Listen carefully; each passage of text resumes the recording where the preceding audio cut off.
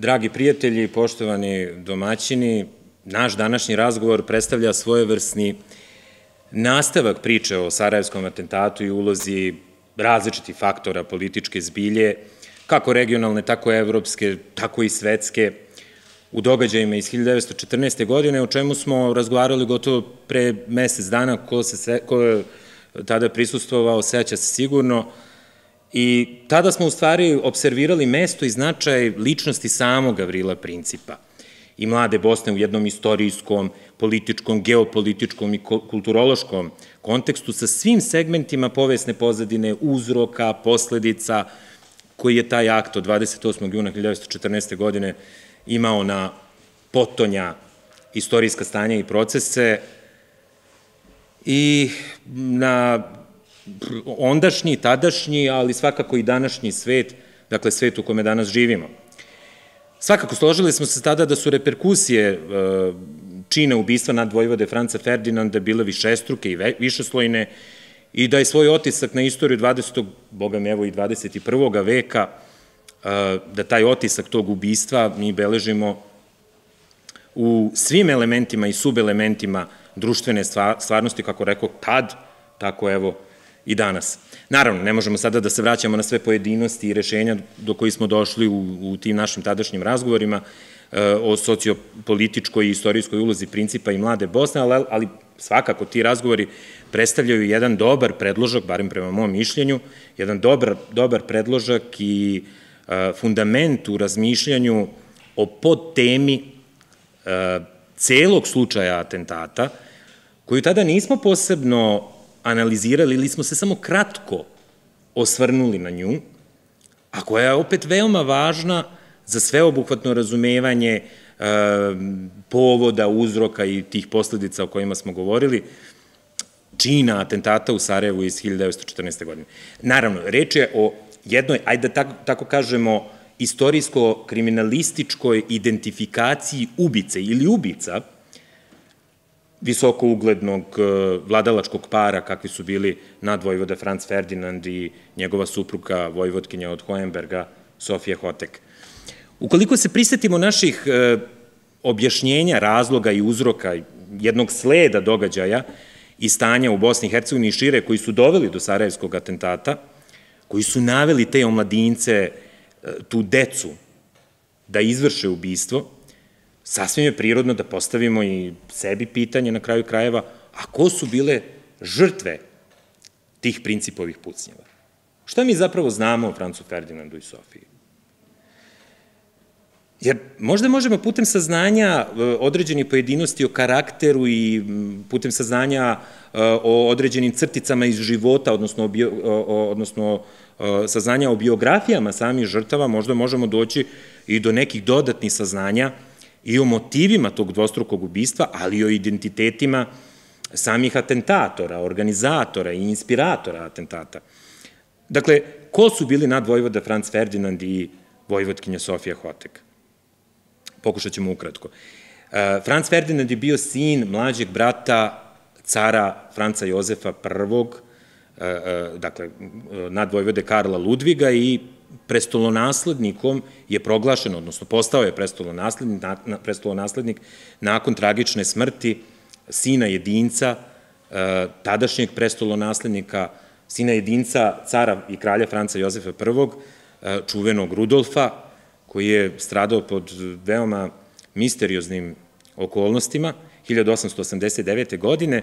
E sad, nakon e, smrti Karla Ludviga, Franz Ferdinand, koji je već, već od, e, od smrti Rudolfa bio viđen za e, novog naslednika krune, od 1889. E, godine i od 1896. od kad mu je otac umro Karl Ludvig, on je postao legalni i legitimni naslednik Austro-Ugarskog prestola. A 1899. godine Franz Ferdinand se oženio Sofijom iz ugledne češke, bohemijske, grofovske porodice Hotek.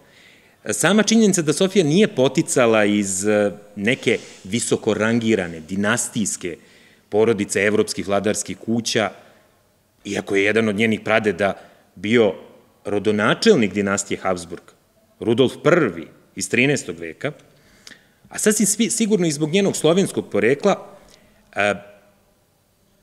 njihov brak u Habsburgskom domu, u Habsburgskom vladarskom domu, izazivao je velike potrese i skandale i zapravo nikada nije bio ni iskreno prihvaćen, niti priznat. U početku sam car nije ni hteo ni da čuje uopšte za ideju da se Franz Ferdinand oženi sa nekom ženom koja je eventualno nižeg socijalnog statusa nego što je sam budući vlada Austro-Ugarske. I tako da je taj brak od strane Hazurške porodice aminovan tek na intervenciju drugih velikih sila koje su strahovali da bi svi ti skandali i potresi u Habsburgskoj vladarskoj kući doveli u pitanje i bezbednost pa cele Evrope, a svakako i dvojene monarhije, a to u tom trenutku uh, nikome nije bilo u interesu. Napravljen je svojevrsni kompromis uh, prema kome se par venčao u Češkoj, ali samo prema morganatskim principima. Dakle, brak se smatrao punovažnim, ali prava, obaveze, titule ili materijalni podsedi nisu mogli nikakvim legalnim putem preći na suprugu u takvom organatskom braku, e, kao ni na decu rođenu u toj zajednici. Dakle, deca nisu smatrana vanbračnom, ali kao ni majka nisu mogli računati na pravo nasledstva niti duhovnih, niti materijalnih dobara koje su bilo u posjedu njihovoga oca ili muža, e, kao što su, na primjer, titule, zvanja, položaj, pa čak ni prezime. Deca Franca Ferdinanda i Sofije Hotek e, nosila su prezime majke, ne oca.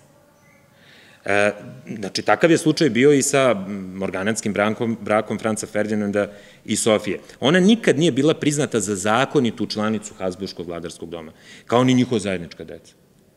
Nikada nije ponela vladarske titule i naslove nadvojvodkinje ili carskog veličanstva, nikada nije e, e, ništa dobila osim što se tiče tog nekog priznanja vladarskog ili pleminskog statusa u Habsburgskoj monarhiji, nije ništa dobilo više od statusa, odnosno zvanja e, knjeginje od, knjeginje od Hohenberga, odmah nakon venčanja, dok je 1909. godine e, dobila, ponela nešto više rangiranu titulu Vojvotkinje od Hohenberga. Deca su, dakle, mogla da računaju samo na pravo nasledđa majčinih dobara, i, kako kažem, nosila su i njeno prezime. E, nešto izbog ovog braka, a ponešto iz pukih, intrigantnih razloga sujete državnih e, krugova, odnosno pripadnika državnih krugova austrijske prestonice i političkih manipulacija koje su oni proizvodili, nadvojvoda je bio prilično neomiljena ličnost u tim dvorskim i državnim krugovima Austrije recimo nije bio omiljen ni u krugovima bliskim nemačkom uh, kajzeru, Wilhelmu. Ti krugovi, odnosno sam car Wilhelm, strahovito su mu zamerali njegovu izrazito uh, uh, rimokatoličku, odnosno prokatoličku, prozelitsku uh, ideološku opredeljenost, odnosno ta katoličko-prozelitska, te katoličko-prozelitske ideološke i religiozne religiozna shvatanja u promišljanjima o funkcionisanju modernog društva, tada na početku 20. veka, a Franz Ferdinand je takva, ovaj, takve stavove zaista posjedovao. E, navodno je jednom nemački car čuo da je Franz Ferdinand rekao da sve Pruse treba pokatoličiti, da ih sve treba prevesti u rimokatoličku veru. Elem, bilo kako bilo, bračni par se nakon venčanja smestio u dvorac Eugena Savojskog, Belvedere, i e, makar sa jednog e, porodičnog, intimnog aspekta vodili su jedan miran, povučen život, neprestano odvojeno od tih glavnih društvenih tokova života na dvoru, makar su ti tokovi dvorskih, dvorskih, dvorskog života bili uh, nedostupni supruzi Franca Ferdinanda, Sofiji. To nikako ne znači da Ferdinand nije bio uključen u politički život Habsburgske monarhije, on je i tekako bio uključen u taj život, posebno od 1906. godine, i od te godine zapravo on u tom životu, u političkom životu monarhije intenzivno i učestvovao. Od svoje rane mladosti, kao i svi Habsburgovci, on je bio pripadnik vojske i 1913. godine postao je glavni inspektor svih oružanih snaga Austro-Ugrske.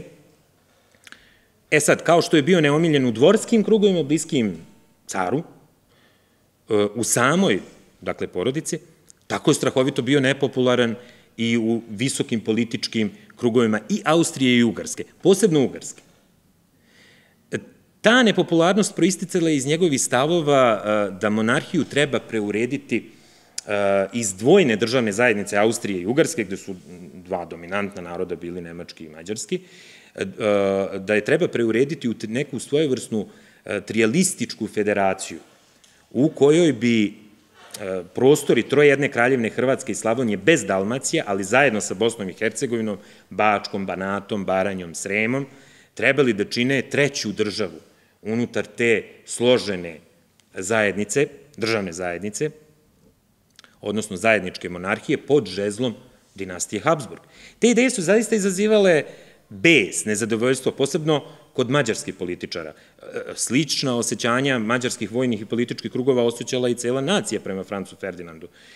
Jer ta osjećanja nacije proizvodili su i stavovi nad Vojvode prema mađarskom narodu, prema kome je on osjećao izrazitu averziju, čak mnogo više nego prema slovenskim narodima. Naravno, izuzimam tu njegova osjećanja prema srpskom narodu i prema Srbiji kao državi.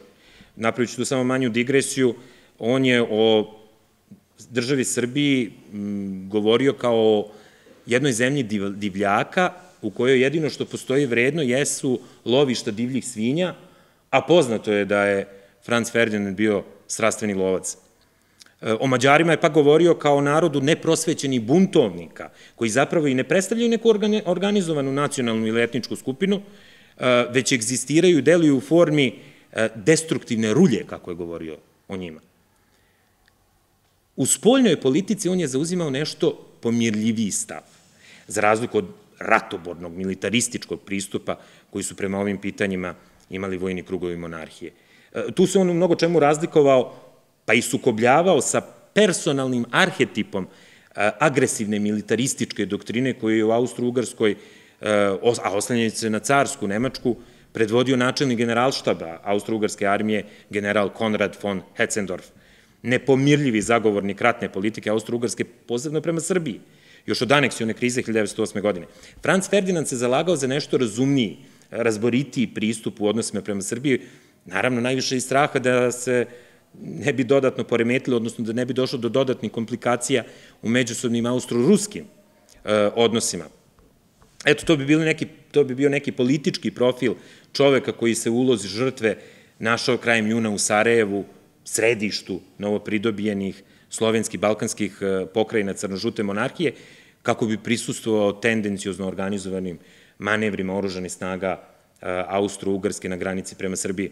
Sa druge strane, određene lične karakteristike Franca Ferdinanda pratile su u nekim magistralnim kolonama ovaj pomenuti politički profil Habsburgskog prestolonasnika. On je bio veoma nesmiljen čovek, da to tako kažemo, nabusitog stava, često neprijatan u svakodnevnom razgovoru prema bilo, kako, prema bilo kom sagovorniku. I generalno, generalno kod ljudi nije budio baš neke velike simpatije. Sad, to bi bio neki sveobuhvatan, ajde da kažemo, ukratko opisani profil Franca Ferdinanda, naspram kojeg e, su 28. juna 1914. stali srednjoškolci, školarci, oni đaci, revolucionari, dakle, omladina iz okupirane Bosne i Hercegovine.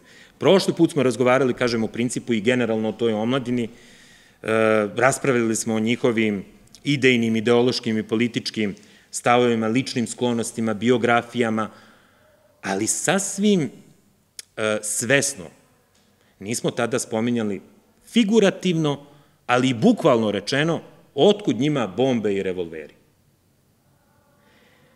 Austria-Ugarska je odmah posle atentata za organizovanje tog atentata, ali i za logističku i materijalnu pomoć e, atentatorima, optužila zvaničnu Srbiju. Ja, to je poznato. Nema nikakve sumnje da postoji E, odgovornost srpske oficirske zavereničke organizacije Ujedinjenje ili smrt, odnosno Crne ruke, za podršku atentatorima iz Mlade Bosne. Prvo, neki od članova Mlade Bosne, u prvom redu njihov idejni vođa, Vladimir Gaćinović, su bili članovi Crne ruke.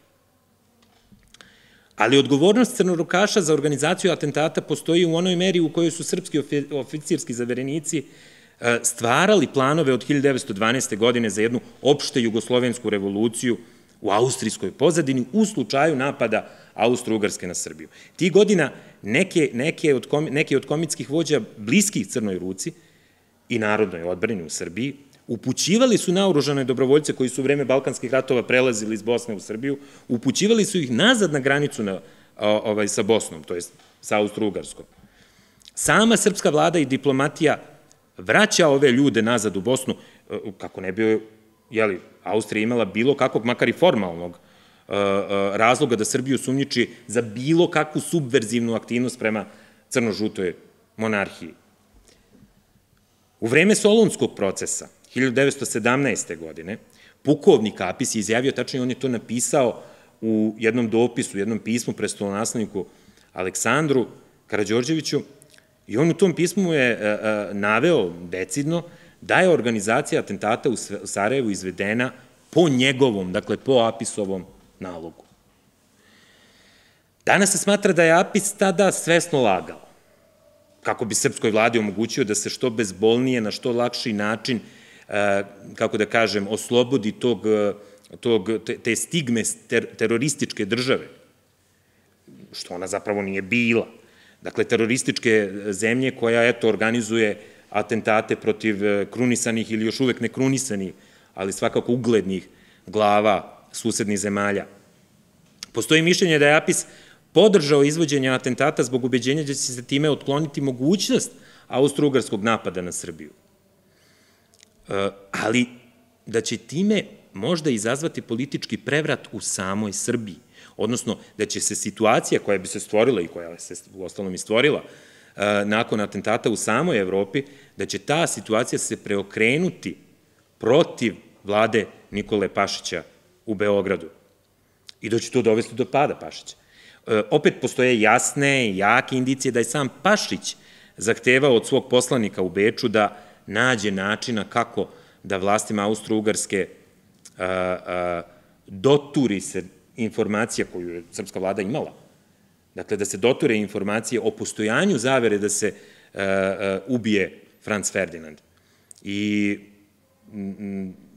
to je to, to, srpska vlada je to pokušavala, barem postoje indicije da je pokušavala da austro-ugarskoj diplomatiji doturi takve informacije. Sam ministar financija, zajednički ministar financija Austro-Ugarske, Leon, Leon Bilinski je u jednoj svojoj kasnijoj, u jednim svojim kasnijim zabeleškama ostavio mogućnost da je srpski poslanik Jovan Jovanović zaista prosledio pomenute informacije srpske vlade austro-ugarskim vlastima. Dakle, ne može se poreći da su srpski oficiri iz Crne ruke organizovani u političkoj zaveri pomogli prelazak atentatora preko granice. Ostaje samo pitanje koji je bio njihov motiv da pomognu izvođenje atentata u Sarajevu. Možda su stvarno time hteli da izazovu krizu srpske vlade, njihovog ljutog protivnika Pašića, ali još 1917. godine, tada na suđenju Apisu u Solunu, pojavile su se tvrdnje koje su se posle mnogo, mnogo uh, razrađivale, koje su posle mnogo razrađivane i u literaturi i u publicistici, ali svakako ne dovoljno u nauci, da je APIS zapravo bio agent Nemačke obaveštajne službe. I da su te veze između njih uspostavljene još 1906. godine, dakle, posle majskog, znatno posle majskog prevrata, kada je Dragutin Dimitrijević Apis boravio na vojnoj specializaciji u Berlinu, zatim da su se te veze, da se ta saradnja razvijala tokom narednih godina, a da su svoj puni e, zenit te veze između Nemačke obještene službe i APIS-a dosegnute e, u vreme Balkanskih ratova u kojima APIS nije učestvovao, jer je u to vreme boravio u Nemačkoj, boravio je, tamo bio je na lečenju, i tu se dalje razvija ta konspirativna teorija prema kojoj su nemački i austrijski vojno-obaveštajni krugovi bili stvarni inspiratori uklanjanja Franca Ferdinanda i to iz više razloga.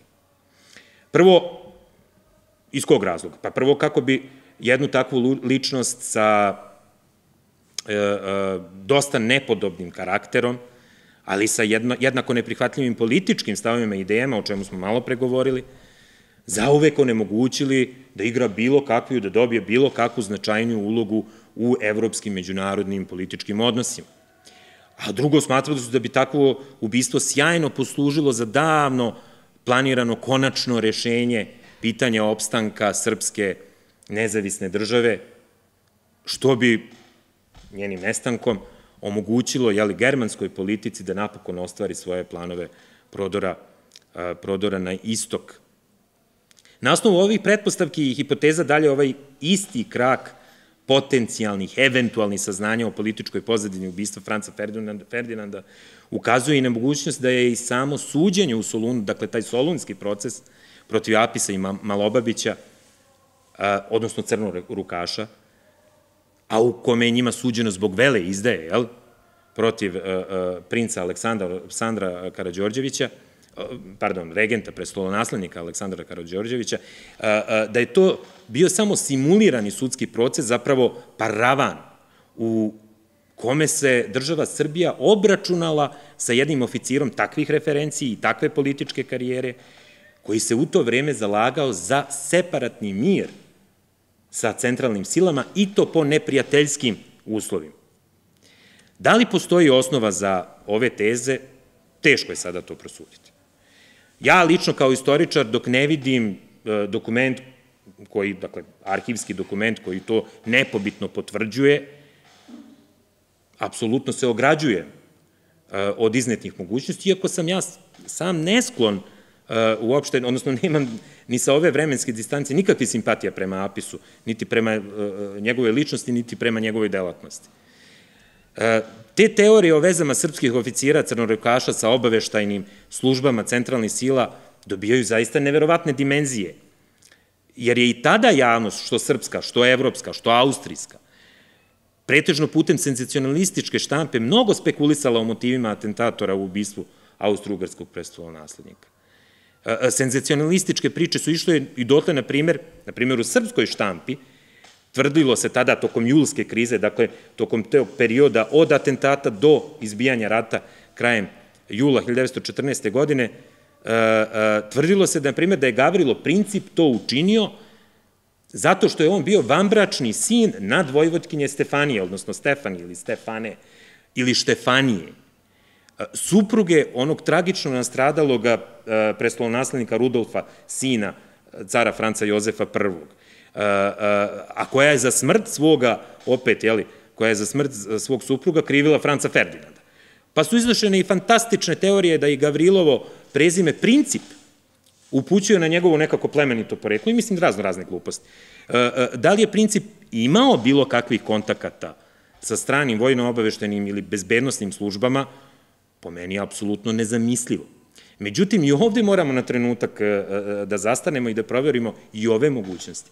Opet, ko je prisustovao prethodnim razgovorima o principu, seća se one priče, e, koju ću ja samo e, ovlaš e, ponovo spomenuti, one priče o mogućnosti da je princip u nekom trenutku boravio u današnjoj Sloveniji. A iako se nepobitno zna, to je, to je dobro dokumentovano, da princip nije napuštao teritoriju bivše nekadašnje Jugoslavije, granica bivše nekadašnje Jugoslavije, izuzimajući tu Sloveniju. E sad, negde pre, dakle, pre nekoliko decenija, tadašnja radiotelevizija Slovenije je snimila određeni prilog, odnosno snimala je određene priloge o jednom, jednoj varošici koja se zove Potkoren u Gorenjskoj, gde se nalazi jedna turistička, kulturno-turistička, odnosno kulturno-istorijska i turistička atrakcija, zapravo e, negdašnja gostiona, možda ona i sad gostiona, koja danas ima nekakav, nekakvu muzejsku tu postavku i koja je nekih 200 godina služila, i evo, ja mislim da još uvek služi, kao svratište, jeli, kao konak, jeli, odnosno kao neki hostel ovaj, u tom gradiću. I e, ta gostionica čuva e, spomen knjigu svih posetilaca od kojih su mnogi bili vrlo e, čuveni, ugledni, e, mnogi od njih su istorijske ličnosti, na primjer, jedan od posetilaca je bio Stjepan Radić, pa onda tu je bio e, posetilac i engleski fizičar i hemičar Sir Humphrey Davy, ali tu se nalazi i potpis Gavrila Principa. I to je snimljeno, mislim, ja sam i gledao taj prilog. Ovaj, tu je snimljen njegov potpis, on je do duše latiničnim, napisan latiničnim slovima, ali je njegov. I e, tamo stoji sad u nekoj, zabeleš, nekoj od zabelešaka da je on se tu upisao na povratku za Sarajevo od neko. I to je to. to više informacija tu nemamo ovaj, u, u vezi sa tom spomen knjigom.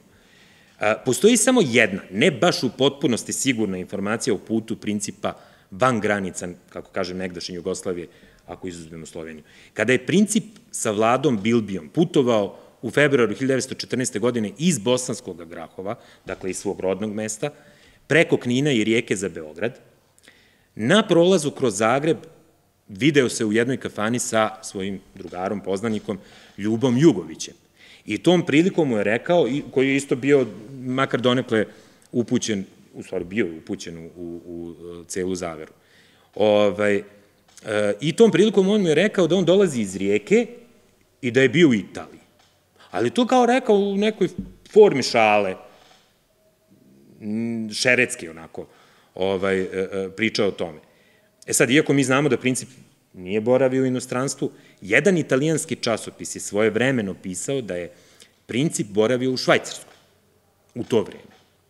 A jedan engleski autor Norman u svojoj knjizi o Evropskom ratu piše da je princip viđan u proleće 1914. godine u Parizu. I to u francuskom vojnom ministarstvu, ministarstvu odbrane. E, I sada sva ova naučna fantastika, svi ovi špijunski trileri bili bi doista smešni, da nemamo onu potvrdu boravka, onaj potpis Gavrila Principa u knjizi gosti u Razingorovoj kući u Sloveniji, koji se nikako ne uklapa u sve poznate činjenice o kretanju principa u danima i mesecima pred sam atentat u Sarajevu. E sad, sva ova priča o umešanosti nemačkih, a onda sledstveno tome i austrijskih, bezbednostno obavešteni službi u ubistvu Ferdinanda i Sofije svoja uporišta u iznošenju ovih teza pronalaze u zaista neverovatnim, neverovatno brojnim propustima austrijske policije, vojske, prilikom organizovanja posete i zaštite uglednog bračnog para, para prilikom posete Sarajevo. E, na primjer, još 20. oktobra prethodne 1913. godine ime Gavrila Principa je uneseno u evidenciju vojne obaveštajne službe, gde je ono označeno kao sumnjivo. Manje više svi učesnici zavere bili su i tekako poznati e, bezbednostnim vlastima u Sarajevu, a poneko, njih, e, poneko od tih imena je bilo poznato i u Beču. Međutim, vlasti ne čine ništa. Ne čine ništa u tim danima pred sam atentat kako bi držali na oku. To se sve može pripisati pukom e, slučaju i jednoj nemarnosti, možda, ja pripisujem nemarnosti, Može se pretpostaviti da policija iz političkih razloga nije želela da preduzme sve mere zaštite u samom Sarajevu, e, e, gde je bilo mnogo stranih konzula, stranih konzulata i gde je generalno vladalo jedno javno mnjenje, odnosno mišljenje u javnom mnjenju da postoji široko nezadovoljstvo široko nezadovoljstvo u narodu austrijskim vlastima, odnosno austrijskim, austrijskom okupacijonom, okupacijonim sistemom. I onda bi se tu kao slika o toj eh, o tim razlikama, odnosno o nesporazumu između austrijskih vlasti i stanovništva dodatno pojačalo. Eh, još 1910. godine, prilikom posete cara Franca Jozefa, samog znači cara Bosni i Hercegovini, primetilo se da su mere obezbeđenja u Sarajevu bile ravne nul. E, ali dok su, do, dok su u Sarajevu bili ravne nuli, u, on je te iste godine, odnosno prilikom iste posete Bosne i Hercegovine, tada je prilikom te posete Sarajevu, on je posetio i Mostar.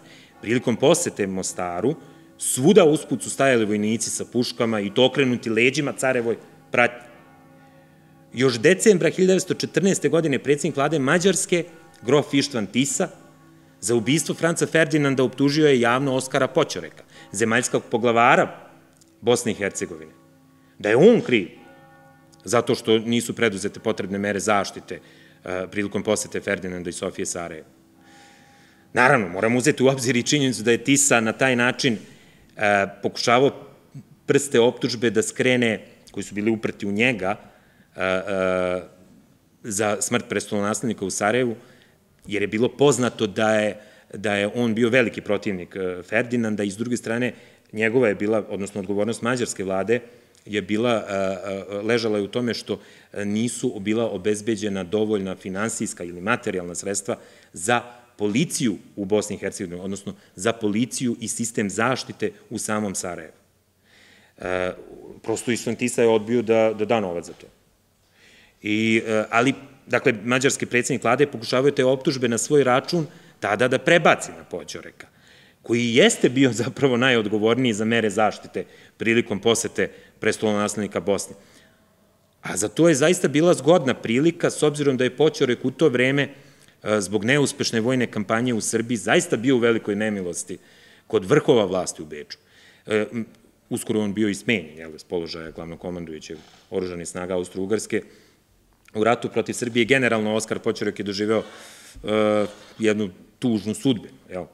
Zahvaljujući i Poćoreku, šef policije, komesar za grad Sarajevo, dr. Gerde, bio je sprečen u nameri da angažuje i kordon vojnika na putanji kuda se kretala Ferdinandova povorka. Iako je imao saznanja o planovima za atentat i o tome obavestio Beč, o tome obavestio pretpostavljene vojne vlasti u Beču. E, zato je na sam dan posete u Sarajevu bilo raspoređeno svega 112 sarajevskih policajaca i 11 detektiva. I oni su međusobno bili tako raspoređeni da je između njih, na mestima gde su stajali, između njih bilo, bio razmak u principu oko 200 metara. Mislim, to je zaista veliki razmak. I još nešto njima nije bilo naređeno da budu okrenuti leđima povorci, odnosno da budu licem okrenuti prisutnoj publici, toj nepreglednoj masi koja je došla da gleda doček Ferdinanda i Sofije. Već, se sve, već su svi ti policajci, svi ti detektivi, uh, oni su sve vreme bili okrenuti licem prema povorci, dakle prema ulici. I odnosno prema povorci automobila u kojima, se, u kojima su se nalazili ti visoki gosti. Sam Poćorek, ali i general Hecendorf, insistirali su na poseti prestola naslednika Sarajevu u vreme vidovdanskih proslava, proslava i organizovanja vojnih manevara, baš tih dana. Iako su znali da će to organizovanje vojnih manevara baš tih dana, kada, kada e, ovaj, srpsko stanovništvo, ne samo u Bosni i Hercegovini, već i svuda gde živi proslavlja, obeležava Vidovdan, znalo se da će, da će to biti ovaj, e, e, doživljeno kao strašna provokacija. Ferdinand je inače imao veoma loših iskustava prilikom poseta sličnim manifestacijama u prethodnim godinama. Prvo, na Ferdinanda nije po prvi put tada organizovan atentat. I jedan je preživeo u Parizu, a jedan je doživeo i preživeo u Češkoj.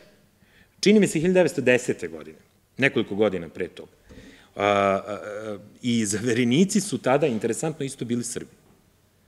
Bili su Srbi koji su tada bili pripadnici te lokalne pukovnije austrougarske vojske, u čiju inspekciju je sam Franz Ferdinand u tom trenutku došao. Ovaj, zato nad Vojvoda nije baš bio sklon ovoj poseti i odlučio se za nju sa nekim, sa jednim velikim kolebanjem i nakon žestokog pritiska generala Poćereka. A sama poseta zaista je bila organizovana traljavo. Gotovo neverovatno neprofesionalno. I tog 28. juna sve što je moglo da krene naopako, krenulo.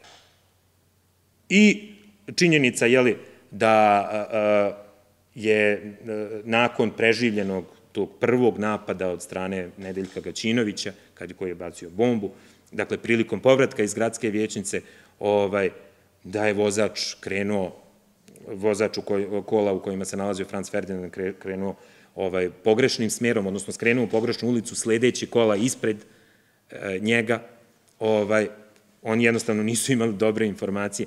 Poćorek i e, doktor Gerde nisu dali potrebne informacije svojim jeli, podređenima, odnosno svojoj pratnji, kuda oni trebaju da putuju. A, a, bilo je skroz, bilo je, bilo je zaista neverovatno da se oni vraćaju istim putem. Tako se u tojim situacijama se to ne radi. Slučaj je hteo, sudbina, slučaj, nazovemo to kako hoćemo, da su prilikom tog skretanja u, ovaj, sa glavne ulice na obali, kuda se kretala povorka, slučaj je hteo da je prilikom tog skretanja da se automobil baš zaustavio na tom ćošku i da se baš tu Gavrilo Princip u tom momentu našao i da mu je bio otvoren pristup samom automobilu, gde je bio udaljen od njega nekih metar, metar i po. Slučaj je hteo i da, na primer, to se sve moglo završiti u stvari još prilikom prvog prolaska kolone vozila prema gradskoj većnici u Sarajevu. Kada je, dakle, desio se atentat uz pomoć bombe Nedeljka Gaćinovića, tada je bomba bačena na automobil, odbila se od samu karoseriju, neko kaže i od karoseriju, neki izvori kažu ne od karoseriju, nego ju je uspeo sam Franz Ferdinand ovaj, odgurnuti od sebe jer je pala negde na njegovo rame. Ovaj, ona je nakon 7 sekundi, 7-8 sekundi eksplodirala i šta radi tada povorka Franca Ferdinanda, ona umesto da jurne, da nastavi dalje ovaj, putanju, ona se tu zaustavila. I Franz Ferdinand izašao iz kola, gleda okolo, i ne samo on, i Oskar, Oskar Počorek, i uh, ti ljudi u njegovoj pratnji. Merici, adjutant Počorekov, on je bio u tom trenutku ranjen. Ovaj, generalno, dakle, to je bila jedna haotična situacija. Potpuno su austrijske vlasti, lokalne, gradske, državne, nespremno dočekali tu posetu i po mom mišljenju nije slučajno da se to sve desilo. Sve zajedno rekli bismo da je taj atentat i njegov ishod bio plod ozbiljne organizacije omladinskih revolucionara iz Mlade Bosne, podpomognutih od strane Crne ruke iz Srbije, koja im je pružila logističku i materijalnu pomoć, obezbedila i doturila oružje, ali bez odobrenja zvanične Srbije i sa njenim protivljenjem. Dalje, to je bio plod i strašnih, dakle kombinacije tih slučajnosti, i strašnih propusta u samoj organizaciji, zaštite naslednika i njegove pratnje prilikom posete i, kažem, igre neverovatne slučajnosti koju niko nije mogao da predvidi. E, od, o drugim aspektima koji su doprineli atentatu, o umešanosti austrijskih i evropskih vojno-obaveštajnih e, službi i bezbednostnih službi u samoj zaveri, o tome samo možemo da spekulisemo, da, da spekulišemo dok e, se ne pojave neki konkretniji dokazi.